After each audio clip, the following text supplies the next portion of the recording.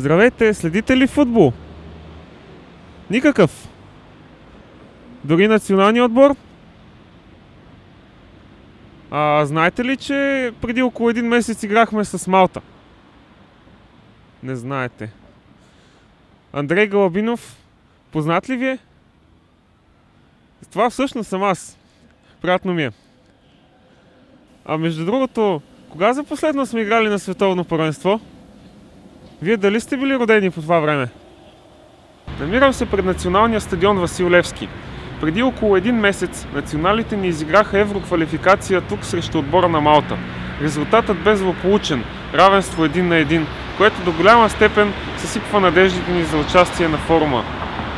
След малко ще проверим дали хората са наясно какво се случва с националния ни отбор, дали следят неговите игри и какво мислят за него.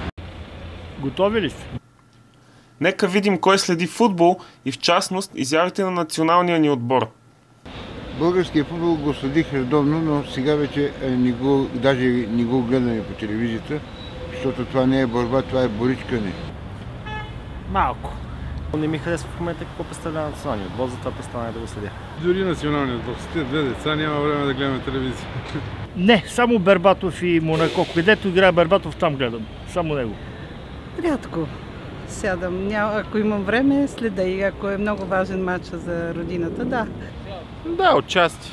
От време на време. Аз съм винаги за националния, аз напоследък съм за Лодогорец, а и съм локомотивец. По-скоро за Лодогореца. Дай друг въпрос. В края на 2014 година бе евроквалификацията ни с Малта, която завърши с злощастното равенство един на един. Нека видим какво мислят хората за това и дали въобще са наясно с този резултат. Резила за българския футбол. Най-странното петно. 4 на 0 ли беше?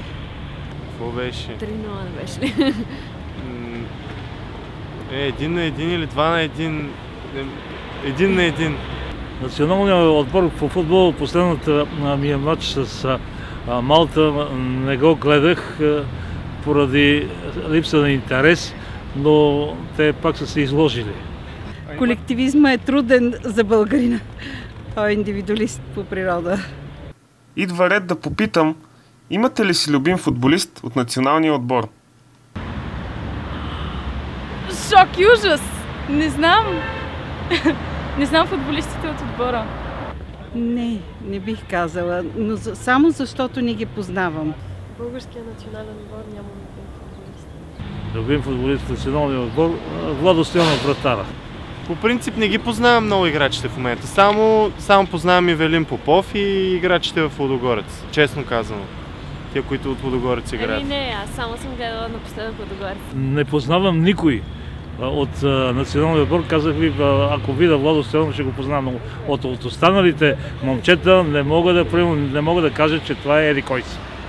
След като повечето хора нямат любим футболист от представителния ни тим, то аз ще се превъплатя в нападателя от него Андрей Галабинов и ще видим дали някой ще ме разпознае. Вие ли сте?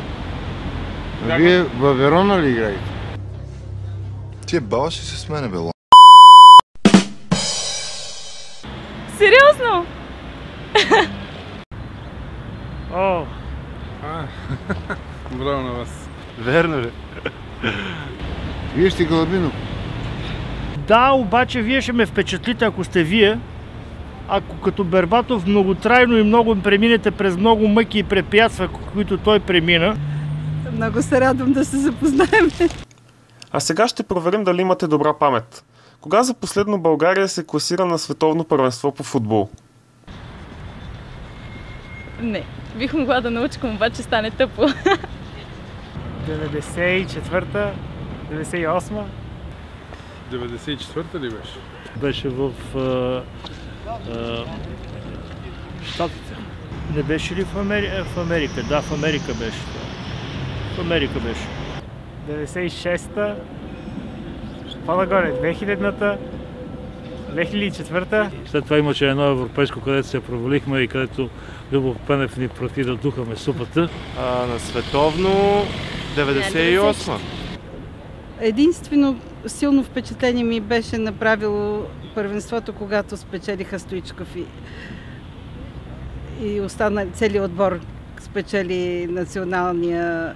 Тогава беше наистина радост абсолютно за целия народ. За първи път видях българите обединени.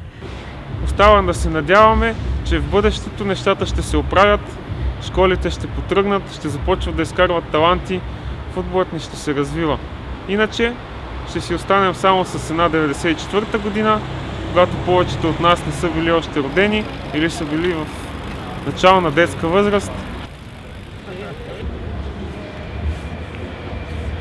Отивам да се правя на утрас. Чао!